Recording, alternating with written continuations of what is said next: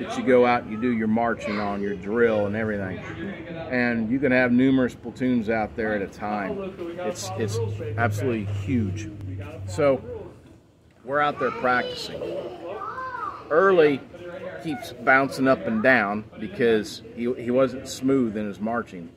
And by this time, we should have been a lot more smooth. You don't want the heads bouncing up and down. You, you want this movement like this for the whole platoon. Nice, smooth, and everything. And Early was just completely out of step, bouncing. It was just bad. He was not having a good day. Drill instructors kicked him out of the formation and put him up in the bleachers. Now we're out there marching. We got helmets, our deuce gear, which is a web belt and canteens and everything. Um, and, and basically it looks like suspenders. They come over, goes over your, uh, your shoulders to help keep everything on, and your rifle. So after, I don't know, an hour or so of doing this, it's now time to go in, do mail call, and then be done for the night and have free time. You get an hour of free time every night so you can go take a shower, write letters, get your uniform ready for the next day. So we're doing mail call. It's nighttime. It's dark outside. And while the drill instructor is calling our names, we run up there. If he calls your name for mail, you run up there and you, like that, and you take it. If you don't do it like that, they won't give it to you because you got to show them you really want it.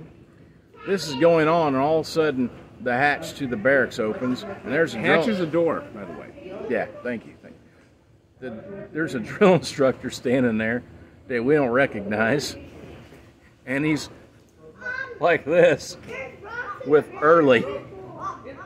None of us realized Early wasn't even with us. Drill instructor Sergeant Barrett turns around, was like, "Where the fuck have you been?" He was like, "I've been on the bleachers." He sat there the whole time, never never paid attention to anything, just zoned off in his own world. didn't realize we had left.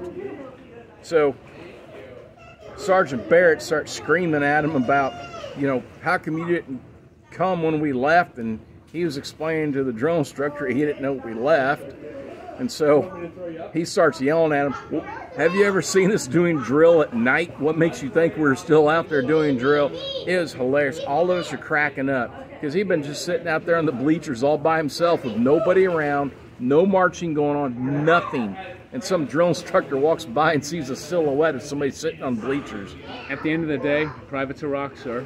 Yeah. all of us earned that title at some point. Yeah, we've earned that. Yeah. Um, got one more one more story on my end. Um, when we hiked up when we were out in the field. We hiked up Mount Mother. Mount Mother. It's actually Mount Motherfucker. Um, and you stare straight ahead and you see dirt. That's how steep it was. And, and we probably did about 13 to 15 miles. They call it a hump. It's, it's a for, forced march. So at the very end, it was dark out, and I'm staring, I'm staring straight ahead. And actually, I powered up that thing because all the, guy, all the taller, bigger guys with long legs went up it. All the 130, 140 pound guys that did well in the run, they got left behind, including our guide. So uh, we get to the top, all this stuff, and um, we had our shelter halves, which is half of a tent. You put it together, and you have a, your, your your tent mate. So, and I keep I want you. I'm preface this by saying you don't do anything without ask with a, without asking a, a drill instructor's permission. Nothing. Is this Early and Johnson? No, no, no. Oh, This okay. is me. This is me and um. oh, what was his name? Um. Shit, I can't remember what his name was, but we um. we- We we were part. We were. I'll, I'll remember before this video's over. Um. Well, uh. Jesus, I can't believe it. Um. Anyway, so we we got our tent. We get set up. They never tell us what you do if you have to pee in the middle of the night.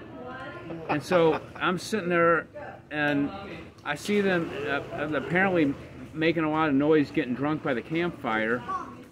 And I had to pee. And I'm sitting there thinking I could picture what's going on. Me asking them what to do. You know, I didn't want to. I could. I didn't want to sit there and walk out there in the middle of nowhere and take a piss, and then have some some drunk DI sit there and say, what are you doing, pissing on my holy mountain and, and having me sitting there uh, thrashing me in front of the fire and for their amusement. So I sat there realized what's my best option, and I pissed in my my empty canteen. That just seemed like the best thing to do at the time. You know, just got up, kneeled up, pissed in my canteen.